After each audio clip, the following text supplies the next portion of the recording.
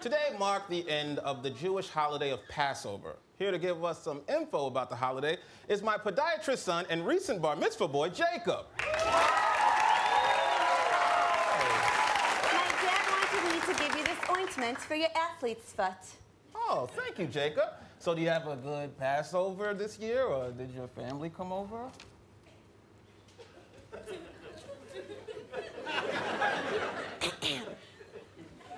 Year at Passover, we ask four questions which explain why this night is different from all other nights. So you're just gonna launch right into it, huh?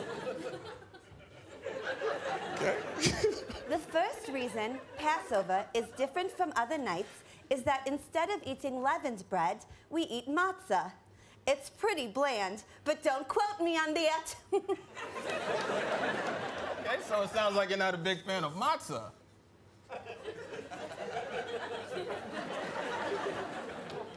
The second reason is that we eat bitter herbs to remind us of the cruel way the Jews were punished in Egypt. Sounds pretty bad, but not as bad as my brother Ethan got punished for grinding at his BBYO dance. but don't quote me on that. Yeah, I wasn't gonna. Jacob, it seems like you really like telling jokes. I mean, where did you get that great sense of humor from? My dad, who happens to be here tonight. Hi.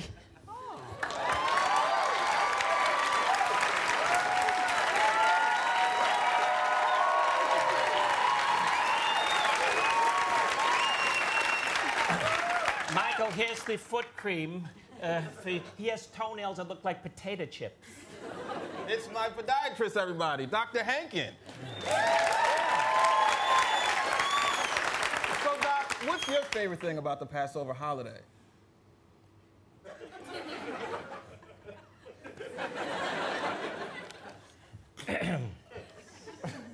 The third reason Passover is different from other nights is that we dip twice. Uh, I don't know about you, but I always dip my food twice once in salsa and once in guacamole.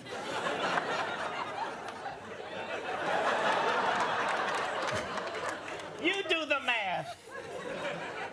What math, man? Look, Doc, we can just have a conversation like we do at the office.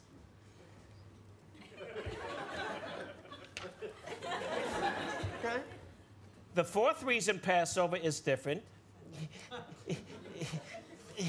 is that on Passover we eat reclining back in our chairs. Sort of like when I took Peggy Tinkerton to the prom. She was a goy, as in gorgeous.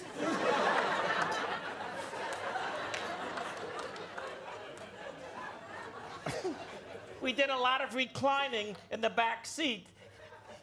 You do the math.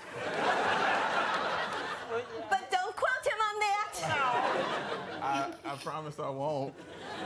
Yeah, so uh, the Yankees, they had a rough loss last night. N- 19 innings. Are you guys sad that Derek Jeter isn't playing anymore?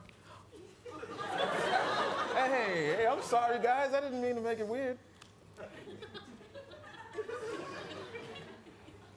In conclusion, Yep. I want to thank my wonderful dad for joining me on this special day.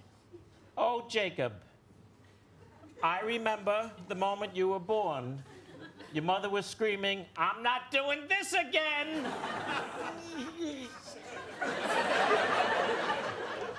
Let us pray. Baruch Ator. I don't know what they're putting in the water these days because look how big you're getting. You look marginally bigger than you were before. Bar mitzvah boy Jacob and his dad, everyone. Bring it